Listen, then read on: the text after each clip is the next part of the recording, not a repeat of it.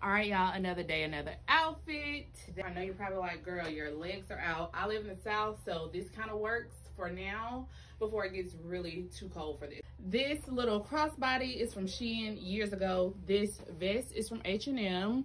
I got this a couple of years ago as well. If you can't tell, I've been really shopping my closet. High neck bodysuit is from Missguided. I'm, I miss Missguided so much, y'all. My skirt is actually gifted. It was, I think from Target. These boots are also Missguided. I just have on some chunky earrings. These glasses are from ASOS.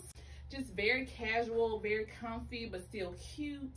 I love the juxtaposition between having like full leg and then I'm fully covered on the top. So that's the outfit of the day, you guys. I'll see you in the next one.